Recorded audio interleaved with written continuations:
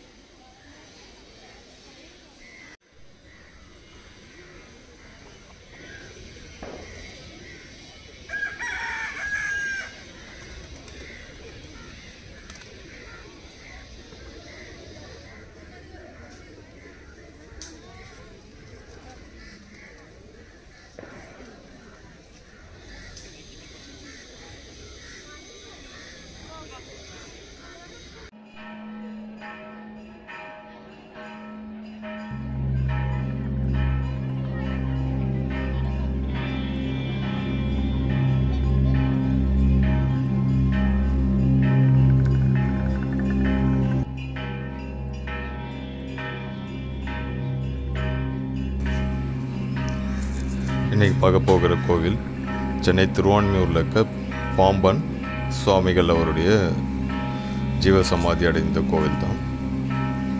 வாங்க வீடியோக்குள்ளே போகலாம்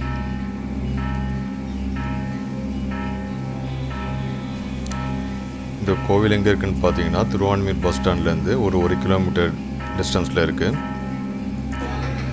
கோவிலோட டைமிங் மார்னிங் செவன் தேர்ட்டிலேருந்து மதியம் ஒரு டுவெல் டுவெல் தேர்ட்டி வரைக்கும் இருக்கும். அதே போல் ஈவினிங் ஃபோர்லேருந்து நைட்டு ஒரு எயிட் தேர்ட்டி வரைக்கும் இருக்கும்.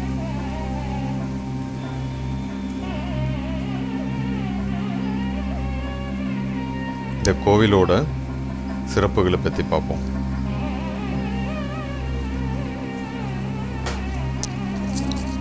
பாம்பன் ஸ்ரீ குமர குருதாச சுவாமிகள் இவருடைய காலம் பார்த்தீங்கன்னா ஆயிரத்தி எட்நூற்றி நாற்பத்தெட்டுலேருந்து ஐம்பது வரைக்கும். தமிழ்நாட்டில் ராமேஸ்வரம் என்ற ஊரில் பிறந்து வடமொழி தமிழ்மொழி இரண்டிலும் புலமை பெற்று ஆறுமுகனை வழிபட்டு வந்த ஒரு சிறந்த தமிழ் துறவி ஆவார். திருஞான சம்பந்தர் அருணகிரிநாதர் வழியில் சித்திரக்கவிகள் எழுதியுள்ளார். தனது வாழ்நாள் முழுவதும் தமிழுக்கும் சைவ நெறியாகிய புகப்பிரம்ம நெறிக்கும் தம் பாடல்களாலும் சாத்திரங்களாலும் தொண்டாற்றினார். முருகனின் வழிபாடாக இவர் இயற்றிய பாடல்கள் ஆறாயிரத்தி அறுநூத்தி அறுபத்தாறு. இவை ஆறு மண்டலங்களாக பிரிக்கப்பட்டுள்ளன. இவர் இயற்றிய சண்முக கவசம் மிகவும் புகழ்பெற்றது. பாம்பன் சுவாமிகள் அவர்கள் மே முப்பது ஆயிரத்தி தொள்ளாயிரத்தி இருபத்தொன்பது அன்று ஜீவ சமாதி அடைந்தார். அவரது சமாதி கோவில் இங்கே சென்னை திருவான்மீரில் உள்ளது. இவருடைய இயற்பெயர் அப்பாவு. இவர் தீவிர முருகன் பக்தர். இவருடைய குறிப்பிடத்தகுந்த சீடர்கள் ஸ்ரீமத் சுப்பிரமணிய தாசர். இவருடைய வாழ்க்கை குறிப்பு பார்த்தீங்கன்னா பழந்தமிழ் குடியான அகமுடியார் இனத்தில் சாத்தப்ப பிள்ளை என்பாருக்கும் செங்கமலம் என்பாருக்கும் மகனாக தோராயமாக ஆயிரத்தி எட்நூற்றி நாற்பத்தெட்டு முதல் ஐம்பதாம் ஆண்டு வரை ராமேஸ்வரத்தில் பிறந்தார். ஆயிரத்தி எட்நூற்றி அறுபத்தாறாம் ஆண்டு உள்ளூர் கிறித்துவ பள்ளியில் பயின்றார். முனியாண்டி பிள்ளை என்பவரிடம் தமிழ் கற்றார். சிறு வயதிலே இவருக்கு கந்தசஷ்டி கவசம் மிகவும் ஈர்த்த நூலாகும். இவர் இயற்றிய சண்முக கவசம் என்ற நூலுக்கு இதுவே மிகவும் தூண்டுதலாக இருந்தது. தனது பன்னெண்டு பதிமூணு வயதிலேயே கவி பாடும் திறமை பெற்றிருந்தார்.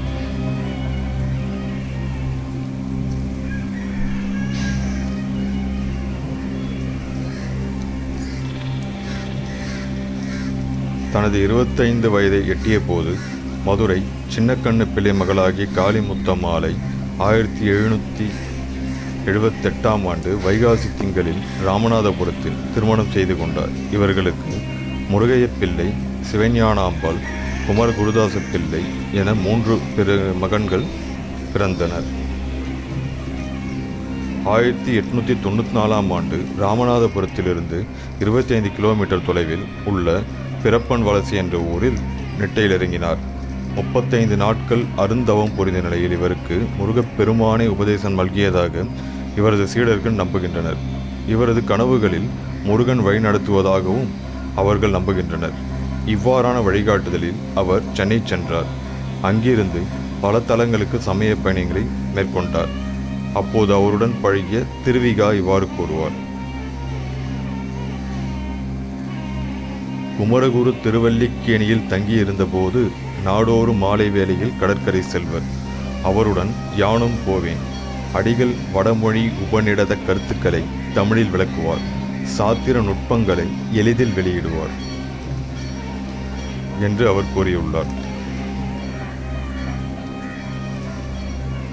முருகர் இவருக்கு செய்த அற்புதங்கள் பார்த்தீங்கன்னா ஆயிரத்தி தொள்ளாயிரத்தி இருபத்தி மூணாம் ஆண்டு டிசம்பர் இருபத்தி ஏழு அன்று சென்னை தம்புச்சட்டி வீதியில் சென்று கொண்டிருந்த போது குதிரை வண்டி சக்கரம் இடது கணைக்கால் மீது ஏறியதால் கால் எலும்பு முறிந்து சுவாமிகள் பொது மருத்துவமனையில் சேர்க்கப்பட்டார்.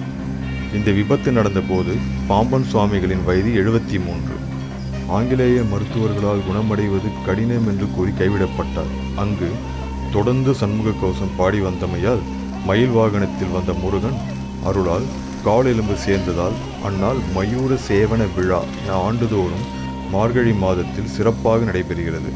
சென்னை மருத்துவமனையில் மன்றோ வார்டில் பாம்பன் சுவாமிகளின் திருவுருவப் படம் மாட்டப்பட்டு நோயாளிகளால் இன்றும் வழிபடப்படுகிறார்.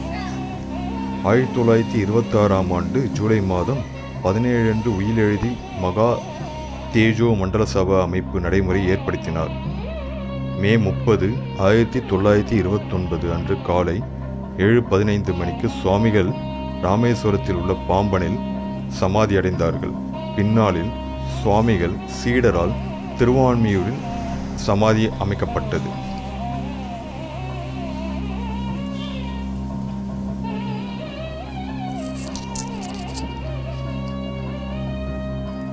இந்த தலத்திற்கு பக்தர்கள் தினமும்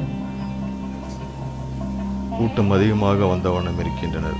காரணம் அவர்களுடைய வேண்டுதல் அனைத்தும் நிறைவேறுகின்றன. முருகன் அருளால் மற்றும் பாம்பன் சுவாமிகள் அவர்களால்.